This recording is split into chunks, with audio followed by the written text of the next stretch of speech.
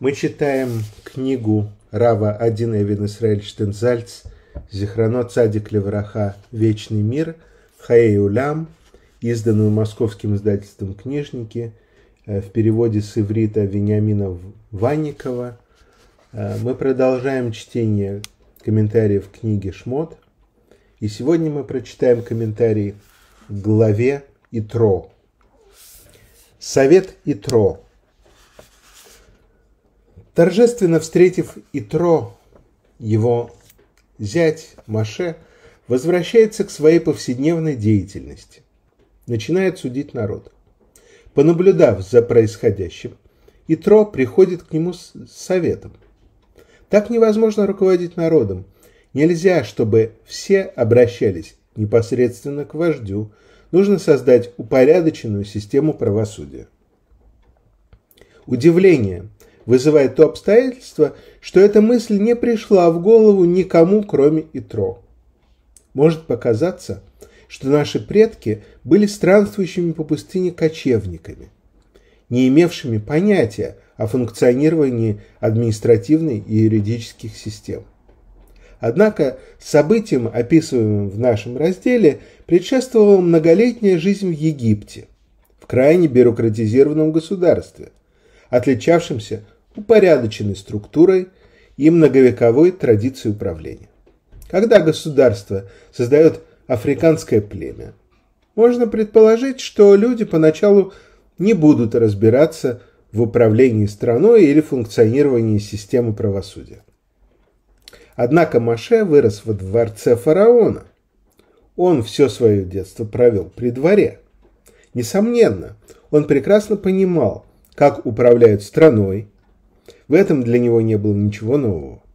Почему же, встав во главе народа Израиля, он создал ситуацию юридического хаоса? Зачем надо было дожидаться совета Итро? Что нового для него было в элементарной, казалось бы, идее создания упорядоченной судебной системы? И с практической точки зрения непонятно, как Маше собирался управлять народом. Он был не только вождем, ему приходилось наставлять миллионы людей и в том, что касалось их частной жизни. Не говоря уже об особых случаях, которые неизбежно возникали. Избранный Маше, вариант управления народом, привел к монополизации. Со всеми своими вопросами они могли обращаться только по одному адресу. Даже если предположить, что евреи в пустыне не ссорились из-за поиска пропитания, поскольку каждый получал свою порцию мана, между ними наверняка возникало немало раздоров. Как все мы знаем, для конфликта между соседями особых причин не нужно. Помимо того, Маше был наставником и учителем. Даже если оставить в стороне ссоры и конфликты, а также все имущественные проблемы, все равно останется непонятным, как он мог отвечать на логические вопросы. Почему у каждого человека э, находится что спросить? Почти у каждого человека находится что спросить. Считается ли такая кастрюлька мясной или нет? Как именно надо понимать некий закон? Ответами на эти вопросы можно заниматься круглосуточно, но времени все равно не будет хватать рассказывают, что когда дочь одного равина в маленькой общине выходила замуж, она попросила внести в брачный договор требование, чтобы ее муж не становился раввином. Дом ее отца с утра и до поздней ночи был полон людей, и она не хотела и дальше вести такую жизнь. А когда община насчитывает 600 тысяч мужчин, даже если вопросы будут возникать лишь изредка, их количество окажется огромным. Можно отвечать на все вопросы кратким «да» и «нет», как это зачастую делают э, предводители хасидских течений, но и тогда ответить на тысячи обращений попросту невозможно. Теоретически говоря, у Маше не должно было оставаться времени ни на что – Непонятно даже, как он смог встретить своего тестя, о чем рассказывается в начале раздела. Разумеется, такое положение дел было невыносимым и для людей. Можно представить себе, какая очередь выстраивалась перед аудиенцией э, и сколько времени приходилось ждать. Как же Маше мог продолжать эту практику? Цитата. «О, если бы все в народе Господа были пророками». Конец цитаты. Маше движим отнюдь не прагматическими соображениями, а идеологией. Его подход носит принципиальный характер. На прагматическом уровне он согласен с тем, что предложенная ИТРО система управления является более эффективной. Вопрос, однако, в том, нужно ли создавать иерархическую систему в принципе. ИТРО, в сущности, предлагает разделить народ. Каждый должен задавать вопрос вышестоящему, а над тем есть следующий вышестоящий и так далее, вплоть до самой верхушки пирамиды. Так возникает ситуация, при которой кто-то выше, а кто-то ниже – Маше изначально не хотел создания такой структуры. Она противоречила и его личным склонностям, и его убеждениям. Возникающая здесь проблема проявляется и в других эпизодах Писания. Так, у горы Синай евреи просят Маше. Цитата. «Говори ты с нами, и мы будем слушать, и пусть не говорит с нами Бог, а то умрем». Конец цитаты, Шмот 20.19. В книге «Дворим» эта история рассказана подробнее. Так мы видим, что сам Маше отнюдь не считал это предложение само собой разумеющимся. Чтобы согласиться на него, ему понадобилось одобрение Творца.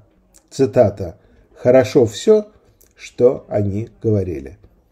Э, конец цитаты, Дворим 5.24. Для Маше – Каждый еврей стоит на высшей ступени, каждый должен стремиться к максимуму. Он хотел, чтобы каждый еврей получил Тору непосредственно, во всей ее полноте, так же, как получил ее он сам.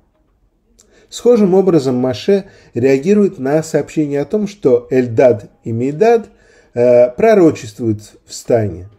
Цитата. «И прибежал парень, и так сообщил Маше, Эльдад и Медад пророчествуют в стане. И отозвался Иошуа, сын Нуна, служитель Маше, из избранных им, и сказал, «Господин мой Маше, заключи их». И сказал ему Маше, «Уж не за меня ли ты ревнуешь? О, если бы все в народе Господа были пророками, лишь бы возложил Господь Дух свой на них». Конец цитаты, Бамидбар 11, 27, 29. Он говорит, это не из скромности, не отдавая дань вежливости. Таков был его взгляд на вещи. Маше искренне хотел бы, чтобы в стане пророчествовал каждый, не только Эльдад и Медад. Это желание является не просто личным стремлением Маше.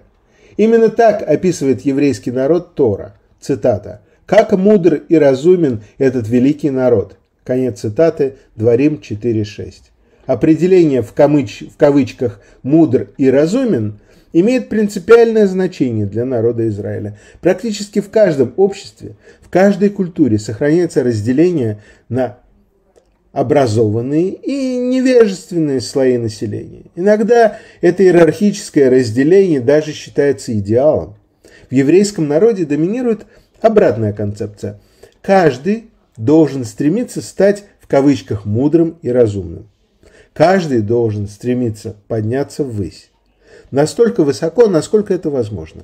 В этом смысле налицо э, принципиальная разница между еврейским народом и другими культурами. В еврейском обществе для рядового человека нет никаких границ. Никто не устанавливает ему пределы допустимого знания. Даже у горы Синай присутствовали все евреи, и откровение было обращено в равной мере каждому из них. Эта тема в том или ином виде находит свое выражение в самых разных контекстах. К примеру, в Тана ДБ Элиягу, Элиягу Раба 10, говорится, цитата, «Да будут тому свидетелями небо и земля, мужчина и женщина, раб и рабыня, все согласно неспосланному им духу святости. Конец цитаты. Каждый человек может достичь той ступени, когда на него снизойдет дух святости. Маше э, последовательно придерживается принципа равенства, согласно которому все евреи имеют одинаковую ценность. Для него иерархическая система означает разрушение равенства между людьми. Он стремится сам судить народ, полагая, что если кто-то хочет обратиться непосредственно к нему, значит он не должен ставить между ними преграду в виде иерархической системы начальников. Для него был важен каждый, поэтому всякий, кто хотел его видеть, должен был получить такую возможность. Маше не устанавливает иерархию не потому, что это не приходит ему в голову, а потому что он этого не хочет. Он прекрасно понимает, что создание разных общественных слоев приведет к появлению не только высших, но и низших групп людей, что даже высоко стоящие люди будут все равно ощущать свою ограниченность той ячейкой, которую они занимают в системе. Все это противоречит концепции, согласно которой, цитата, вся община, все святы, и среди них Господь. Конец цитаты. Бамидбар 16.3. Вера в душу. Идея введения иерархических ступеней в народе настолько не по душе Маше, что он готов выносить любые тяготы, э, в кавычках, истощиться окончательно. И рисковать полным крахом всей системы. Как можно заметить, этот крах неизбежен. Ее существование в реальности попросту невозможно. И Маше, стремясь не приступить важного для него принципа, может лишь тянуть время настолько, насколько это в его силах. Прагматические соображения победили административный аппарат и система правосудия были построены согласно совету ИТРО. Тот мыслит в практических категориях. Он видит, что Маше пытается достичь невозможного. Концепция ИТРО представляется крайне логичной. Невозможно построить государство, государство равных. Разве могут все люди находиться на одинаковом уровне? Сам по себе идеал равенства противоречит здравому смыслу. Подобно этому анализ концепции демократии, построенный на принципе равенства, показывает, что в сущности она совершенно нелогична и неэффективна. Это важно отметить, э, поскольку в наше время демократия стала в кавычках демократией с большой буквы, поскольку ее учат в школах. Однако, если подумать, нетрудно понять, что демократическая система управления – абсурдно. Люди становятся ее сторонниками скорее по велению эмоций, чем в силу разумных доводов. Рациональный анализ должен был быть сделать нас противниками этой идеи. Когда у человека что-либо болит, он не проводит опрос случайных людей – не обращается в парламент, не устраивает голосование. В парламенте на эту тему могут высказаться десятки депутатов. Даже если бы все они оказались мудрыми и разумными людьми, нам все равно следовало бы прислушиваться не к их мнению, а к точке зрения врача.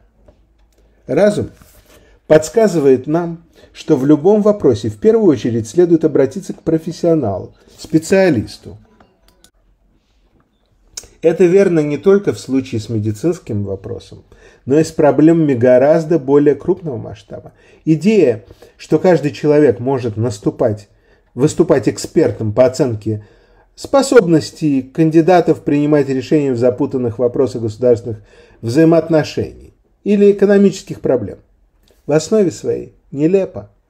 Идея всеобщего равенства противоречит тому, что мы видим собственными глазами. Люди отличаются друг от друга и не одинаковы ни по росту, ни по внешнему виду, ни по уму, ни по образованию. На чем же все-таки основывается пресловутый принцип равенства?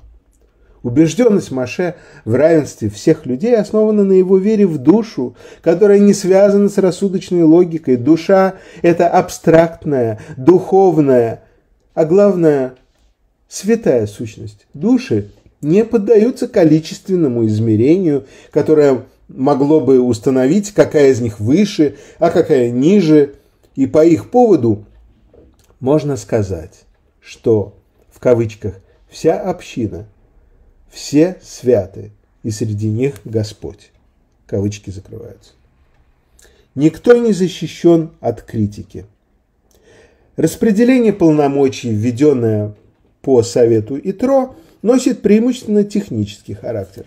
Распределение людей по группам является практической необходимостью.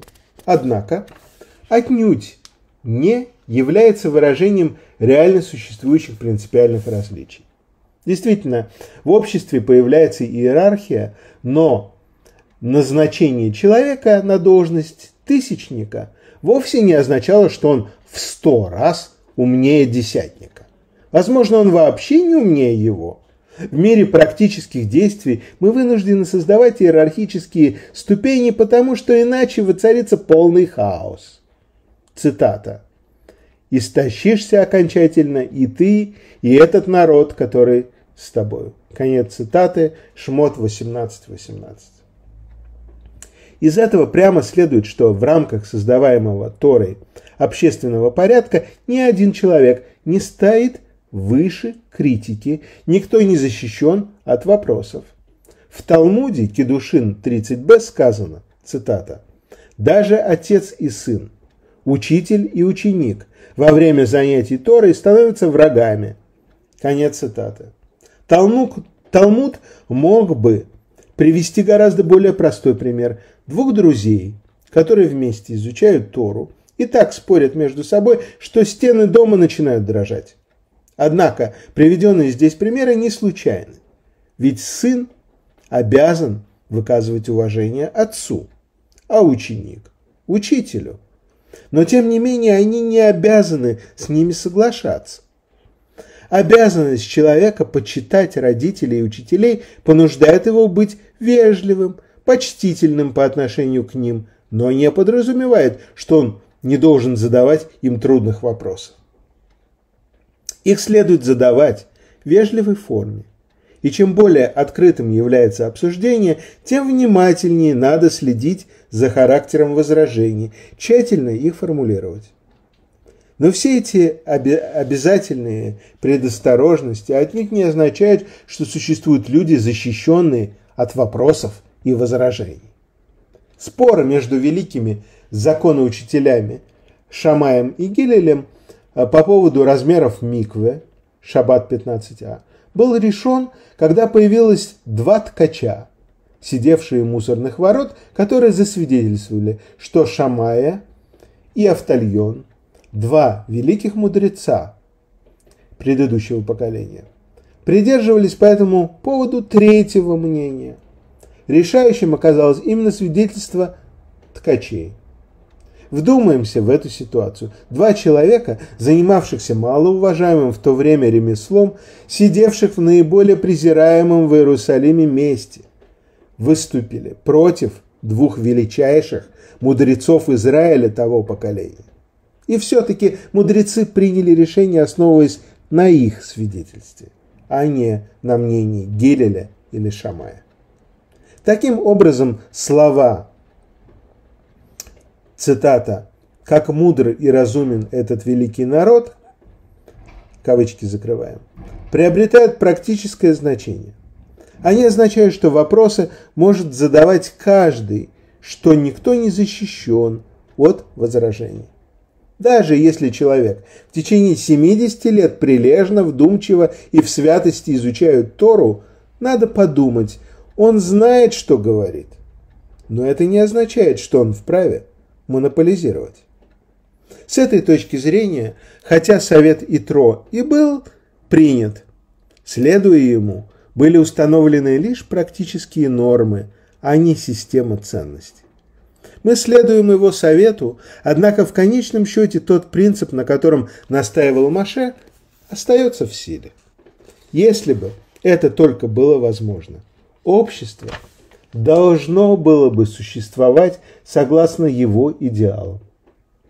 В сущности, к нему действительно должны были обращаться все, начиная от маленького ребенка, нашедшего сладости и пришедшего узнать, надо ли ему разыскивать их владельца, и заканчивая главой колена, чей вопрос влияет на судьбы множества людей.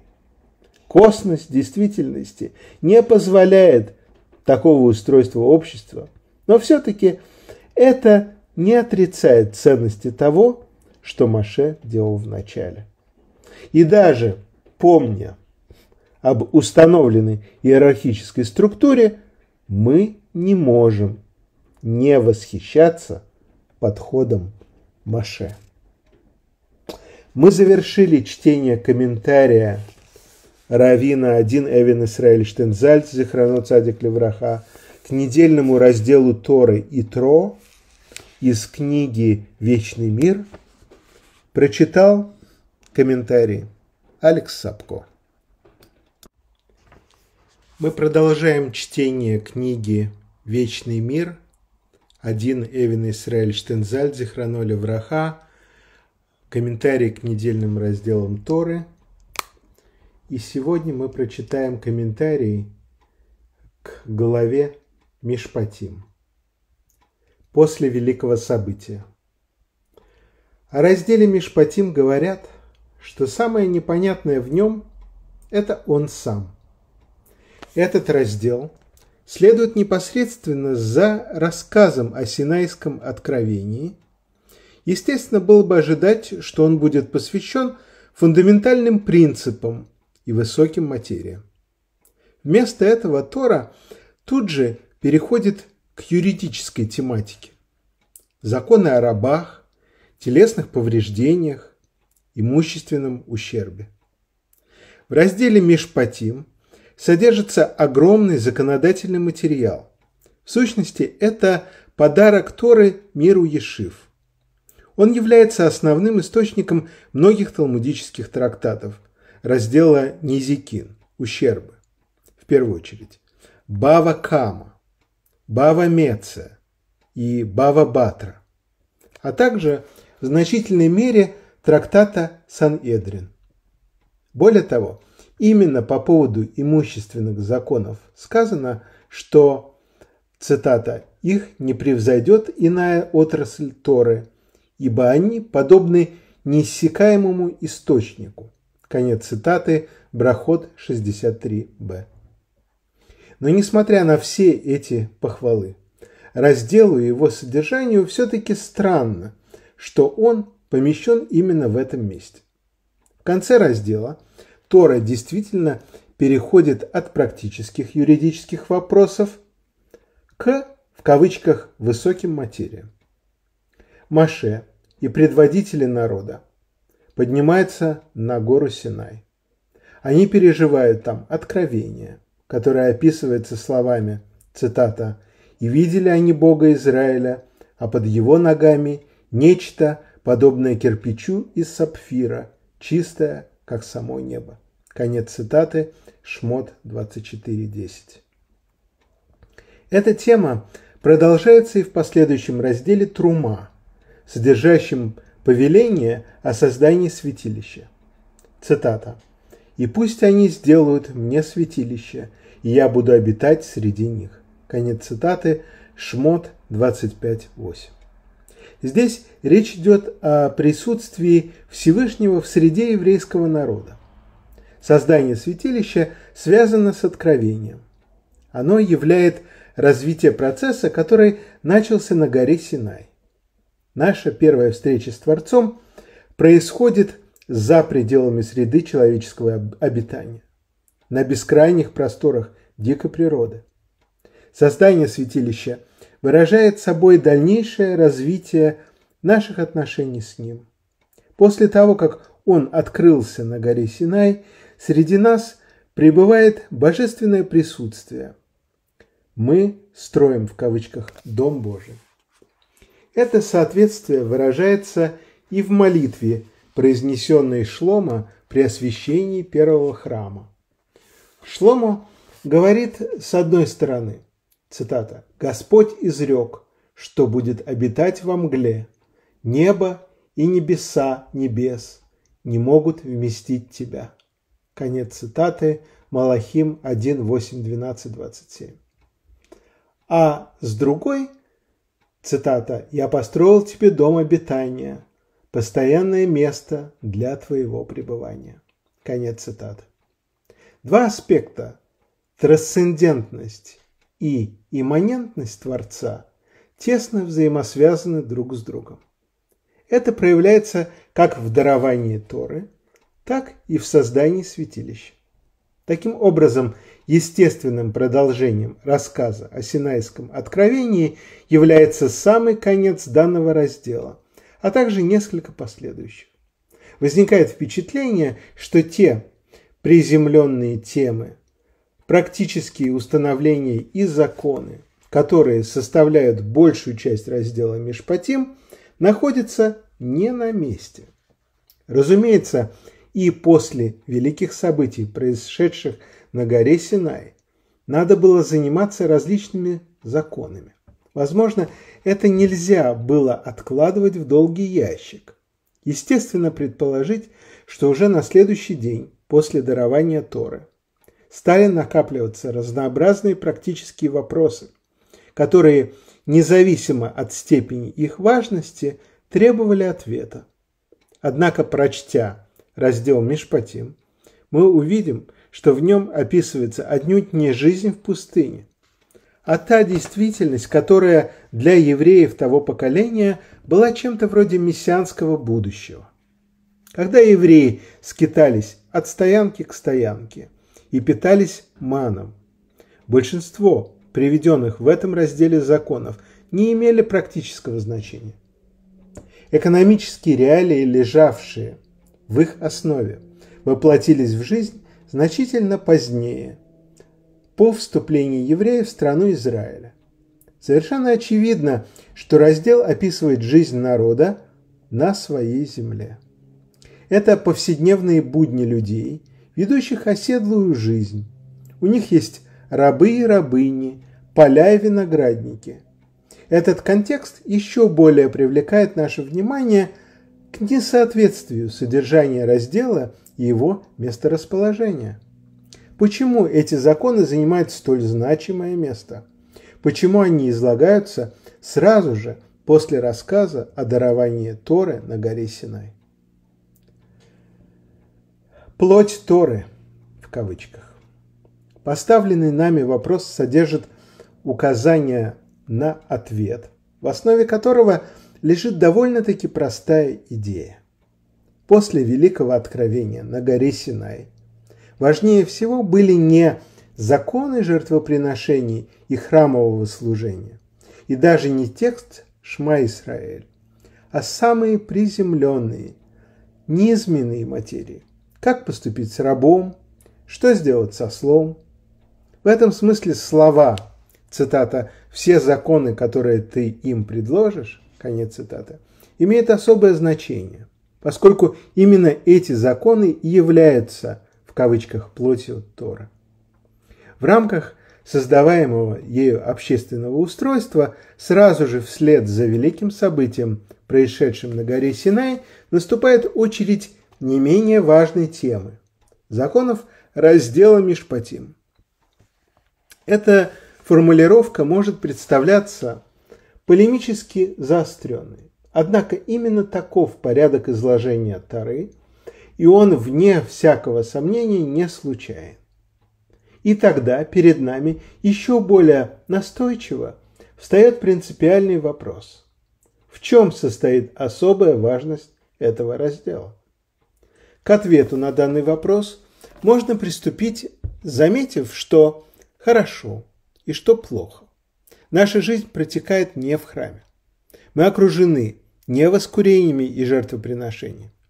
Наша жизнь э, проходит в доме и на площади, в поле и винограднике.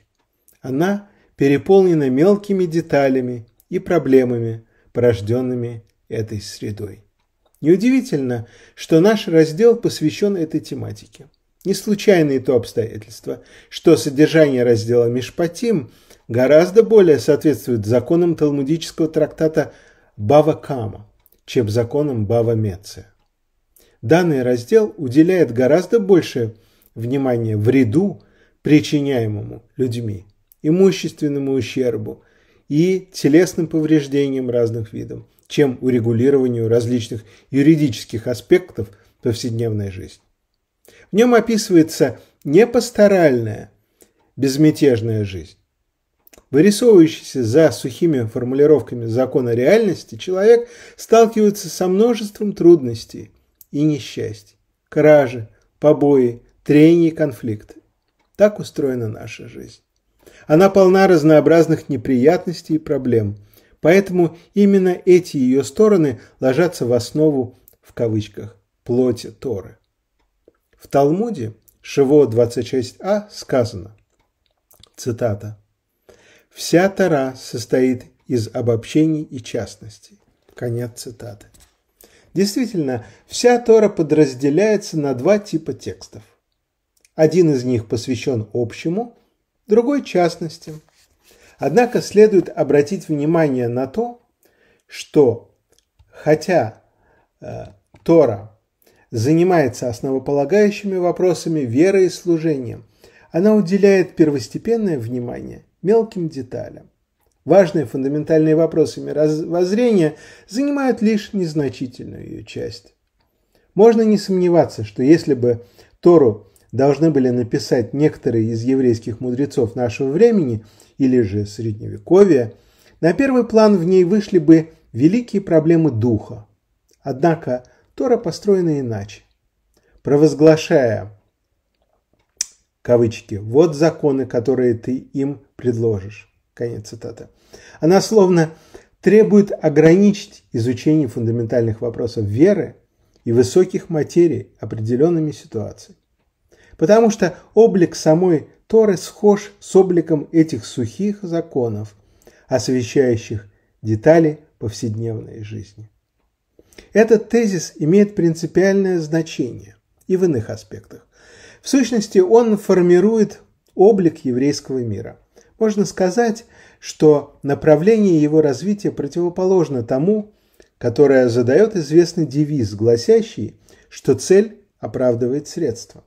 Как ни странно, в иудаизме все наоборот. Средства оправдывают цель. Тщательно разработанные частные законы – оказываются важнее высоких целей. Вся еврейская жизнь основана на крайней детализации законов и норм.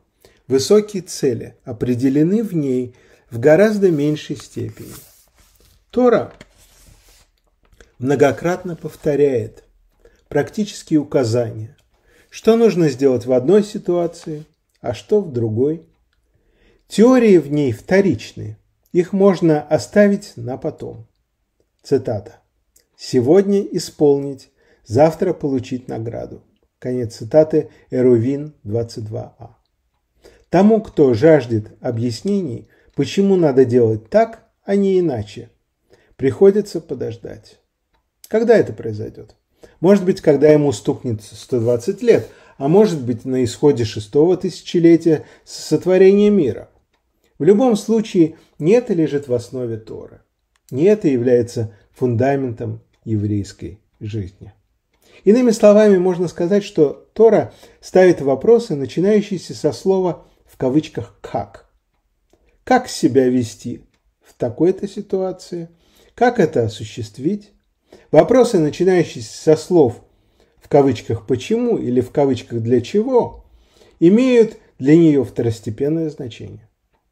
Тора занимается методом, техникой и практической разработкой поступков. В ней не часто встретишь рассмотрение вопроса об их целях и сущности, о лежащих в их основе великих принципах. Впрочем, общая структура Тора включает в себя как детализированные законы, так и абстрактные положения. На ее основе мы можем продвигать от частного к общему получить ответ и на вопросы в кавычках «почему» и в кавычках «для чего». Но в кавычках «плотью Торы» является длинный перечень сухих законов. Э, в кавычках «вот законы». Частности, подробности, выверенные в мелочах определения – это суть.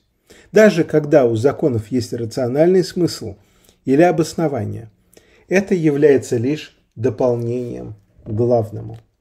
Разумеется, все это говорится не для того, чтобы бросить тень на подход Торы или принизить ее величие. Наша цель объяснить, что она рассматривает вещи не так, как это обычно делаем мы. Находит величие не в тех сферах, где бы мы ожидали его найти. Метод Торы, находящий свое выражение в порядке изложения материала, указывает на величие в приземленности, ставит во главу угла не общее, а частное. И если первая перспектива задается взглядом вверх, обращенным в сторону возвышенного, таково было состояние народа на горе Синай, то затем взгляд быстро опускается от заоблачных высей грубой материи, пытаясь разглядеть скрытое в ней величие. С этой точки зрения события на горе Синай и раздел Мишпатим оказываются единым целым, они неразрывно связаны друг с другом. В двух этих разделах осуществляется поиск великого. Находится ли оно в горних высях или совсем в ином месте? Где пребывает Бог? Концепция снижения пафоса, характерная для раздела Мишпатим, находит свое выражение и в природе мироздания. В целом можно сказать, что величие, великие, возвышенные силы проявляются в окружающем нас мире именно на уровне приземленных деталей обыденной жизни. Однако мы находим еще более радикальное утверждение, которое относится к вопросу о местонахождении Творца.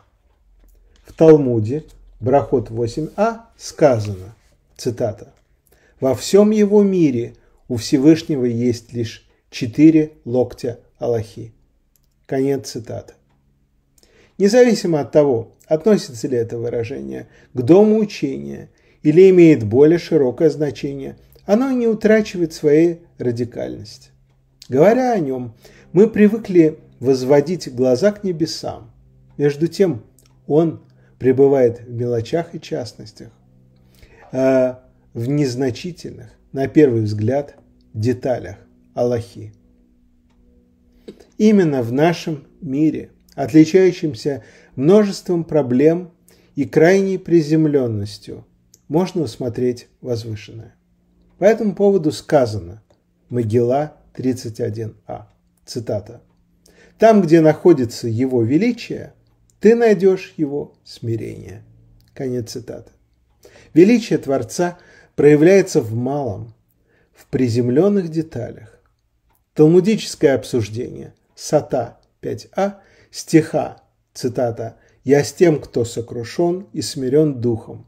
Конец цитаты Ишиягу 57.15, приводит к выводу о том, что Всевышний не возносит к себе э, в кавычках сокрушенного и смиренного духом, но не сходит к нему и пребывает с ним.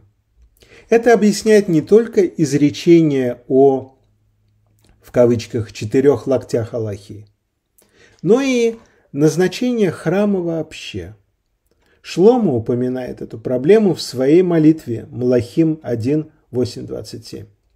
Цитата. «Ведь небо и небеса небес не могут вместить тебя. Тем не менее, этот дом, который я построил». Конец цитаты. Какое отношение может иметь храм к Творцу? И несмотря на это, а может быть именно благодаря этому, суть храма состоит в том, что он словно ограничивает свое присутствие границами этого места. Всевышний раскрывается не в бескрайнем пространстве и даже не в бесчисленных пространствах.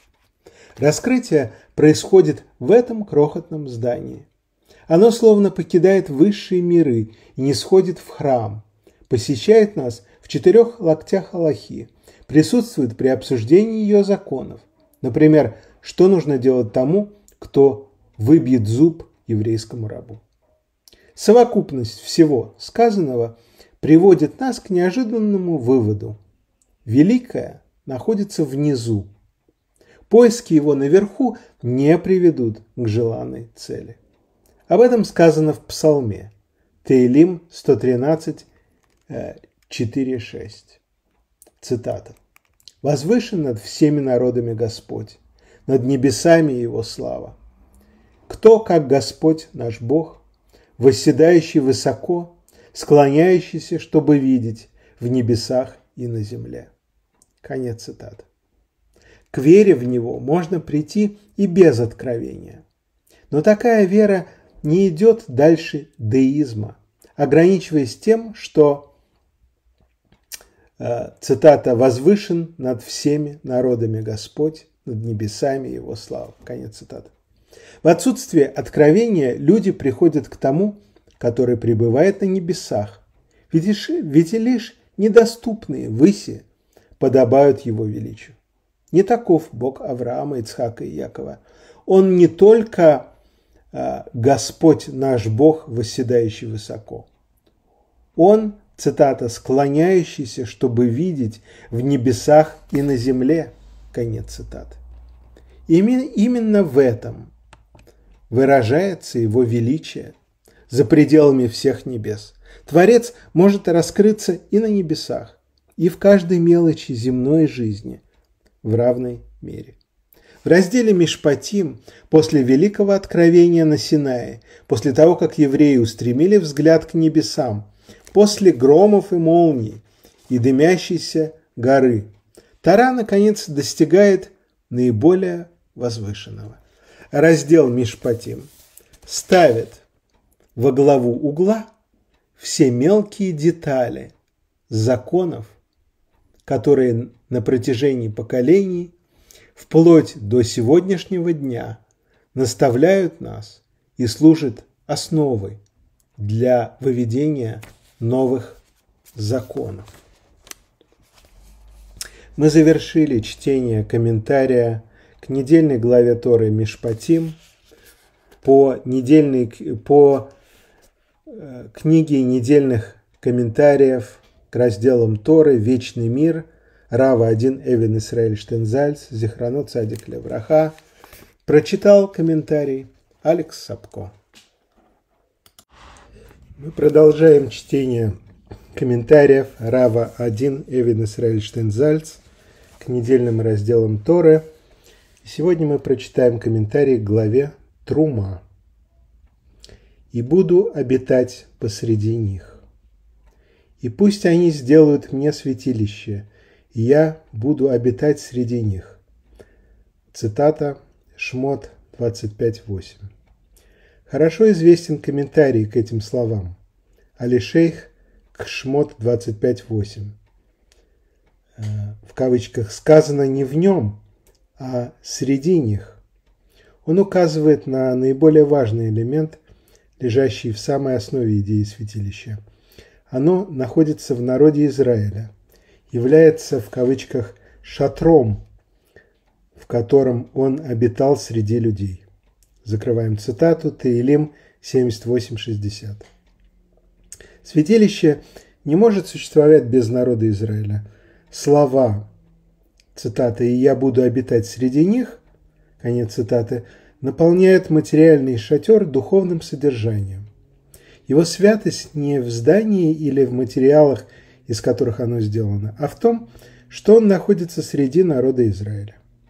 В сущности, это верно по отношению к любым предметам, наделенным святостью. Сакральный предмет – это механизм, позволяющий человеку быть связанным со святостью, но он не включается автоматически. Сакральность проявляется лишь в процессе использования. Святость имеет значение лишь будучи соединенным с человеком.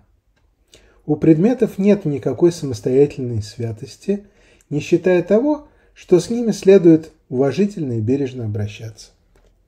Как-то рассказывали об одном молодом хасиде, который был задержан в советской России. Ему чудом удалось спастись, и, как впоследствии выяснилось, его освободили потому, что сочли сумасшедшим.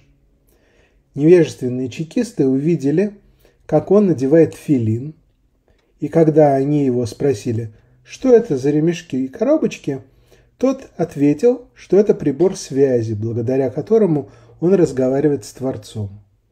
После того, как они были тщательно проверены, и в них не нашлось ни аккумулятора, ни антенн, особенно после того, как они понаблюдали за тем, как Хасид начинает разговаривать, подрузив эти коробочки на голову, ни у кого не оставалось сомнения в том, что он самый настоящий сумасшедший. Надо отметить, что тфилин сами по себе не являются прибором связи. Они работают не благодаря своему внутреннему устройству. В них также не скрыто никакой магии. Как и все прочие сакральные предметы, они являются средством освещения. Однако их внутренняя сущность э, проявляется лишь в сочетании с выполнением заповеди и с соответствующим намерением со стороны человека. Святилище в этом смысле подобно иным сакральным предметам. Его суть, его внутренняя основа состоит в пребывании божественного присутствия в еврейском народе. Цитата «Я буду обитать среди них».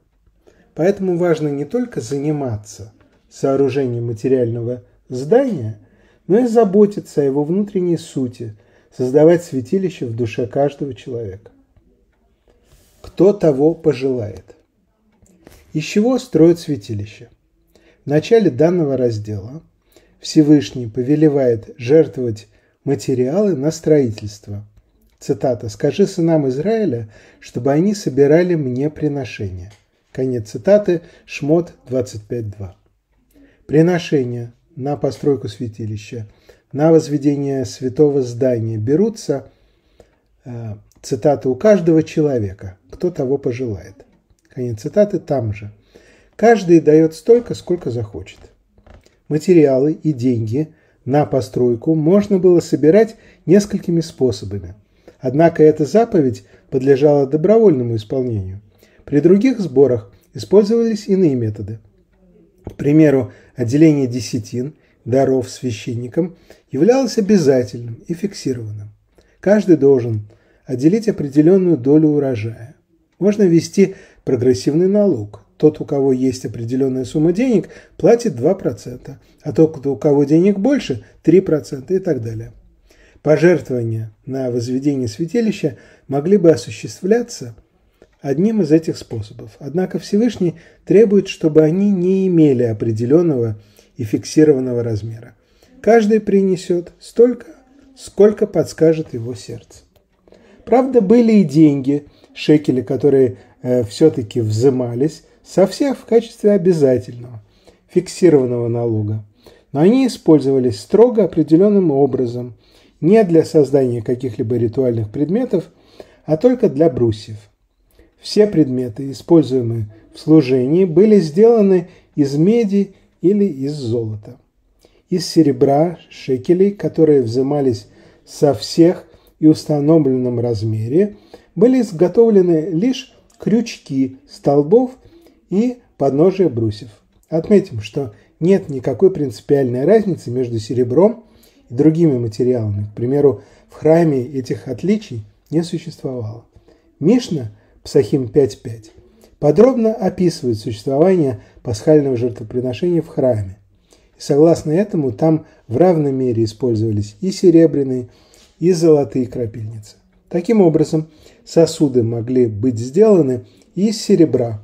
Следовательно, перед нами принципиальное разграничение между даром, приносимым человеком по зову сердца, и фиксированным и обязательным налогом. Видимо, причина в том, что принудительно взываемые деньги не могут э, в кавычках высоко подняться в мире святости. Закон был установлен не из-за того, что люди отказывались платить. Судя по всему, чтобы взыскать требуемые полшекеля, не надо было прибегать к помощи стражи. Однако все-таки это серебро не могло быть использовано для сосудов, используемых в служении Творцу. Помимо этого, мы видим, что использование пожертвований непроизвольно. У каждого предмета было определенное место. Каждый из них отправлялся по определенному назначению. После того, как дары проверяли и сортировали принесенные человеком предметы, распределялись в соответствии с тем, для чего они подходят. При этом возникала определенная общность между различными аксессуарами святилища и теми предметами, из которых они были сделаны. Так, к примеру, умывальник был сделан из женских зеркал, и мудрецы говорят, Бамидбар Раба 9.14, что именно поэтому из него э, поили горькой водой жен, заподозренных в супружеской измене. Бамидбар 5.11.31. Действительно, связь здесь очевидна. Умывальник был сделан из зеркал женщин, вставших на путь святости. Поэтому именно он подходил для проверки женщин, которые предположительно сошли с этого пути. Следующая история носит характер анекдота, но и она имеет некоторое отношение к обсуждаемой нами теме. Одного Рэби спросили, почему он ведет роскошный образ жизни, в то время как его предки, которые были великими людьми, жили скудно, а то и в бедности. Он ответил, некоторые люди дают пожертвования на искупление своей души во имя неба и в особой святости. Они хотят, чтобы их дар действительно послужил этому. Когда равин принимает такое пожертвование, он вправе расходовать его лишь на цели, связанные с соблюдением заповедей, на изучение Торы и милостыню бедным. Другие, совершая пожертвования, движимы менее возвышенными мотивами. Чтобы быть не хуже других, э, вызвать уважение к себе. На их деньги можно покупать еду, питье и одежду, а иногда люди дают пожертвования как взятку, если не Рэби, то Всевышнему. Эти деньги можно тратить только на лошадей. Хасиды моего деда были в основном святыми людьми. Они почти всегда давали деньги э, во имя неба, и эти деньги шли на помощь бедным. Мои хасиды в основном относятся к последнему виду. Те деньги, которые они дают, можно тратить только на лошадей. Конец цитаты. В сущности, этот подход налицо и в нашем разделе. Как мы видим, каждое пожертвование имеет особый характер и зависит от внутренней сути дающего. Это определяет и то, на что идут его дары. В планах святилища все было четко расписано, что идет на крышу, а что находится снизу, что окажется в святая святых, что останется снаружи. Назначение разных предметов связано с тем, кто их дает. Что касается пожертвований на святилище, ни у кого не просит больше того, что он дает. Если кому-то сердце подсказывало пожертвовать доску, значит он тот, кто принес доску. Это то, что он в состоянии дать и то, что он достоин дать. Поэтому у каждого спрашивают, что он хочет дать в соответствии с его возможностями. Кто-то даст три медных гроша и станет тем, кто дал три медных гроша. Другой принесет тахашевые кожи или драгоценные камни. Цельность, создающая святилище. Цитата. «А вот приношение, которое вы будете принимать от них, золото, серебро и медь. Конец цитаты. Шмот 25.3. Поскольку это добровольные пожертвования, к людям нельзя предъявлять требования. Каждый принимает решение, взвесив все для себя лично. Поэтому каждый приносит что-то особенное. Просматривая перечень принимаемых даров, мы увидим, что с одной стороны приносили драгоценные камни нужных размеров для наперстника. И некоторые из них наверняка были очень дорогие. А с другой стороны, в список внесены также окрашенная овечья шерсть и даже козья, которая ценилась еще меньше овечьей. Козья шерсть – самый грубый материал для одежды. Разница между дарами определяется тем, сколько человек готов пожертвовать. Видимо, святилище в своей полноте должно включать в себя самые разные вещи. Там найдется место и для козьей шерсти, и для серебра, и для драгоценностей, которые хранят в укромных местах и ради которых надо объездить полмира. В нем должны быть и брусья, и из дерева шитим, которое растет у каждого дома, Нет единого критерия, позволяющего оценить дары по той или иной шкале. В основе создания святилища лежит участие в его строительстве всей совокупности еврейского народа.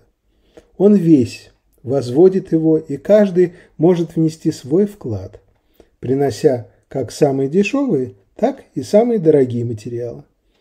Никому не может быть претензий, поскольку неизвестно, в какой именно части единого целого выразилось его участие. Это и есть наиболее правильный путь к тому, чтобы исполнилось слова Писания. Цитата. «Я буду обитать среди них». Конец цитаты. В связи с э, возведением святилища сказано в Талмуде, Шаббат 102б, цитата, «В месте богатства нет места бедности». Конец цитаты. Для чего же тогда Всевышний повелел сделать покрывало из козьей шерсти, которая подошла бы и для мешковины? Можно было, скажем, взять тахашевые шкуры, но, видимо, святилище должно быть построено именно так, чтобы включить в себя весь комплекс того, что есть в людях, отразить степень готовности каждого из них, богатые и бедные, малые и большие. Из всеобщего объединения рождается святилище. Так снизу вверх воздвигается храм, и в той цельности, которая стоит за его созданием, пребывает слава Всевышнего. Мы завершили чтение комментария Рава Один Эвин Исраэль Штензаль, Цихрану Цадик Левраха к недельному разделу Торы Трума. Прочитал Алекс Сапко. Мы продолжаем чтение книги Рава Один Эвин Исраэль Штензальц «Вечный мир», комментарии к недельным разделам Торы. И сегодня мы прочитаем комментарий к недельной главе Тецаве. Если бы надо было как-то определить содержание этого раздела, охватывающего множество разных тем, можно было бы сказать, что он рассказывает о том, что находится внутри святилища. Если прошлый раздел повествовал о его внешнем устройстве, здесь мы переходим к внутренней составляющей, которая определяет его действенность. По этой причине значительная часть раздела посвящена одеждам священников. Тора подчеркивает, цитата, «И они будут на Аароне и на его сыновьях, когда те станут входить в шатер собрания или подходить к жертвеннику для служения в святилище, чтобы они не понесли вину и не умерли. Это вечный закон для него и для его потомков после него. Конец цитаты Шмот 28.43. Другими словами, одеваться следует именно так. А тот, кто придет в ином виде, сам навлекает беды на свою голову. Раздел описывает также церемонию посвящения Аарона. Там же объясняется, что должно происходить в святилище. В церемонию включены все элементы будущего ежедневного служения, хотя и в несколько ином порядке. Все ли функционирует? Тора многократно возвращается к теме святилища. Повеление о постройке – порядок выполнения работы, сборка, разборка, функционирование – все это описывается вновь и вновь. Чтобы понять причину утомительных повторений мельчайших подробностей его устройства, надо сначала выяснить, в чем состоит суть. Святилище – это сложный инструмент, некий механизм, который должен соединить между собой землю и небеса. Для того, чтобы успешно выполнить эту задачу – надо обеспечить нормальное функционирование всех элементов системы. От механизма требуется только одно – чтобы он работал. Если что-то в нем будет сделано неправильно, то он даст сбой, даже в результате минимальной, совершенно непреднамеренной ошибки. Возведение святилища можно уподобить строительству космической станции. Это очень сложная структура, которая включает в себя множество деталей, и каждая из них требует максимальной точности в производстве. Вначале необходимо тщательно выполнить все расчеты, затем создать каждую деталь, так чтобы практическое воплощение идеи полностью соответствовало замыслу. На каждом уровне осуществлением проекта занимается целый коллектив. Один повторяет расчеты, другой сверяет получившийся результат с требованиями плана, третий пытается все собрать, чтобы убедиться, что каждый винтик входит на предназначенное для него место. Ничто не выпало, нет никаких зазоров, все гайки закручены как следует. На завершающем этапе производственного процесса, когда станция будет построена, собрана, снабжена необходимыми приборами, настанет критический момент. Кто-то нажмет на кнопку, и лишь тогда выяснится, будет ли она действовать или нет. В 80-е годы Советский Союз послал две автоматические межпланетные станции к спутникам Марса. Они работали на солнечной энергии и поэтому периодически должны были корректировать свое положение относительно Солнца. Каждый день в течение нескольких секунд с Земли на станцию отправлялось сообщение, содержащее в себе тысячи параметров. Эти указания надо было проверять и перепроверять, чтобы не произошло никакой ошибки. И так день за днем, строчку за строчкой. Однажды в программный код была внесена одна неправильная цифра. Однако тот, кто должен был проверять эти данные, не обратил внимания на ошибку. Это случилось в пятницу. Сказались наступавшие выходные. В субботу проверка получения спутником приказов осуществлена не была. В воскресенье тоже никто ничего не заметил. А когда все вернулись на работу в понедельник – Оказалось, что станция не откорректировала свое положение и поэтому потеряла энергию. Связь с ней прервалась. Так она и вращается до сих пор где-то в межпланетном пространстве. К таким результатам привела ошибка в одном знаке, из-за которой бортовой компьютер не смог принять переданную команду. Аппарат остался цел и невредим, но он не выполнил своего назначения. Он мог принести пользу, а стал мертвым космическим хламом. Это же относится и к постройке святилищ. Когда заканчивается постройка и сборка, когда совершают помазание и освещение, и все приводят в готовность, святилище подобно ракете, которая должна взмыть в небеса. Настает критический момент. В этом смысле кульминацией строительства является церемония освящения – Ваикра 8.9. Казалось бы, в этих главах нет никакого напряжения. В них описаны облачение священников и совершение жертвоприношений. Однако на самом деле напряжение огромно. Оно возрастает от стиха к стиху. В Мидраше, Мидраш Раба 12, сказано, цитата, «Все семь дней освящения Маше ставил и разбирал святилище по два раза в день». Конец цитаты. Работы по его сооружению продолжались месяцами. Казалось бы, нет никакого сомнения, что все в порядке, брусья соединяются. Но Маша раз за разом собирает и разбирает его.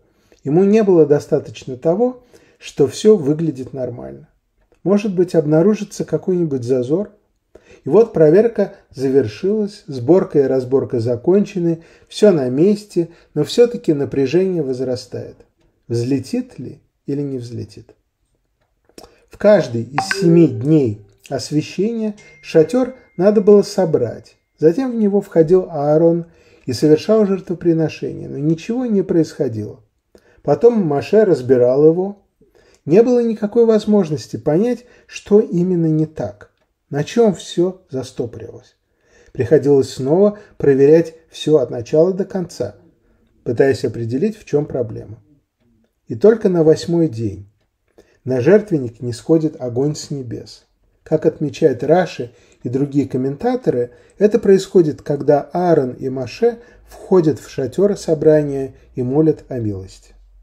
Настает момент, когда все разрозненные составляющие складываются в единый комплекс. И, наконец-то, все срабатывает. Цитата. «И вошли Маше и Аарон в шатер собрания, и вышли оттуда, и благословили народ.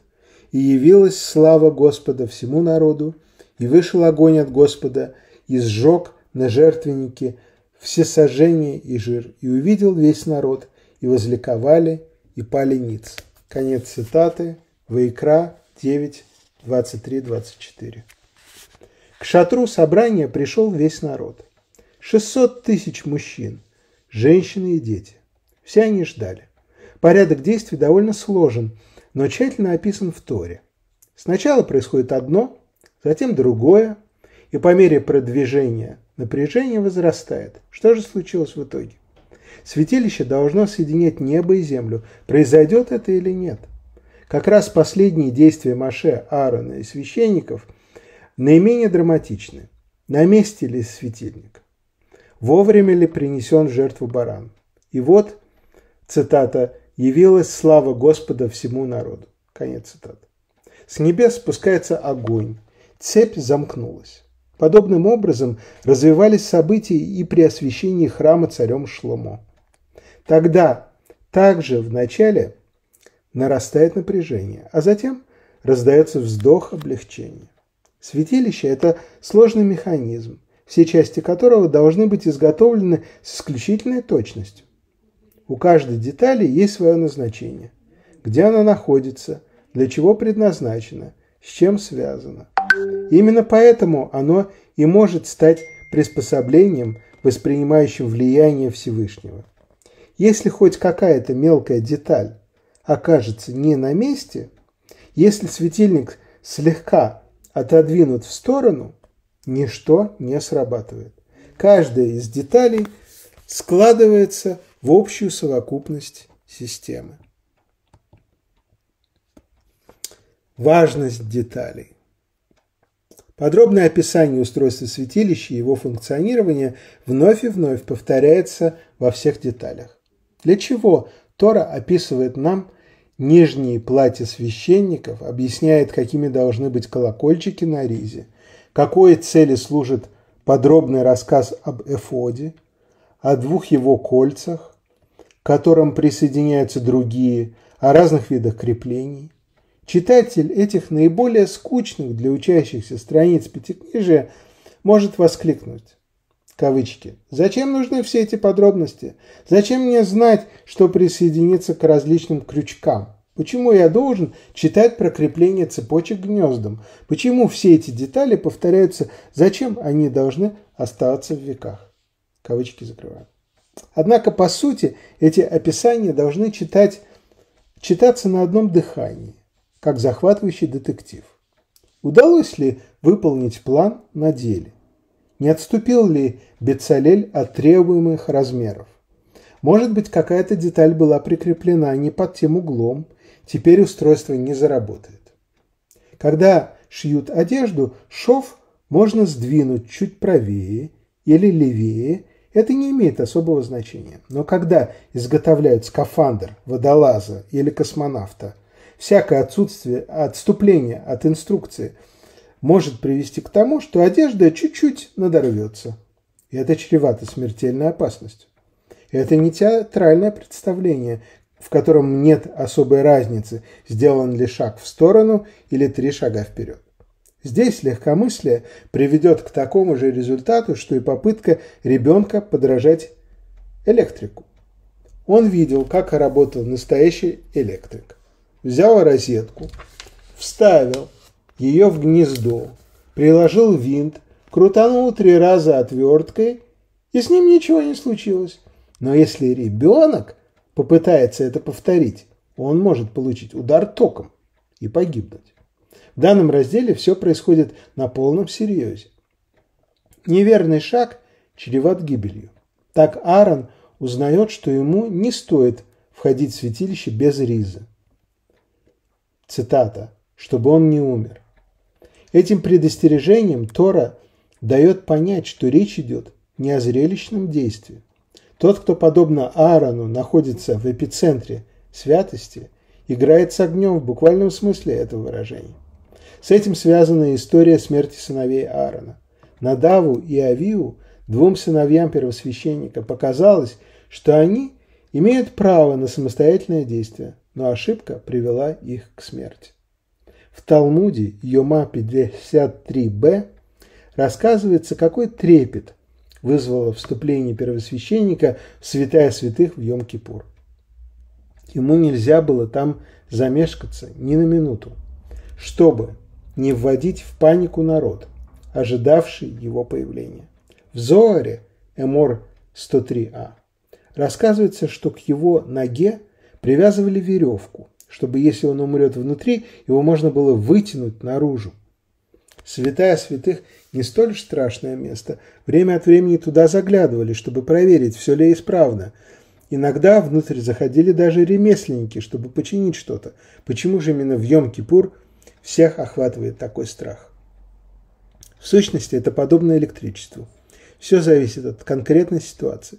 Когда провода обесточены, их можно коснуться голыми руками. Но когда в день искупления по проводам течет ток высокого напряжения, тот, кто входит внутрь, рискует жизнью. Внутреннее устройство святилища. Существует два элемента, обеспечивающие соединение неба и земли. Один из них – это необходимое оснащение. В прошлом разделе нам сообщили, как и из каких материалов оно производится и какие конструкции в него входят. Второй элемент – это внутреннее наполнение, человеческий фактор. Святилище – не набор оборудования, существующий в отрыве от того, кто его использует. Из раздела ТЦВ мы узнаем, что есть ряд условий, необходимых для того, чтобы весь механизм мог работать и выполнять свою задачу. Здесь приводится перечень того, что требуется для нормального функционирования системы, ее взаимодействия с людьми. Раздел посвящен служению, осуществляемому в святилище и наделяющему его внутренним содержанием и жизненностью.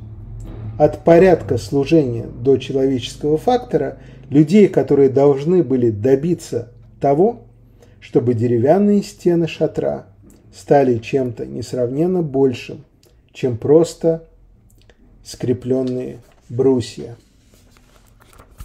Мы завершили чтение комментария Рава Адина Венесраэль Штензальц, Зихрано Цадик Левраха, к недельному разделу Торы Тицаве из его книги «Вечный мир» Хаэй Улям переводе с иврита Вениамина Ванникова, изданного московским издательством «Книжники»